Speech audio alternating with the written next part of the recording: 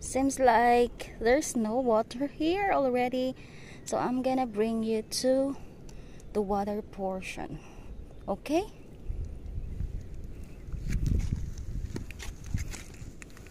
So I'm gonna put you here. Yes. Are you okay there?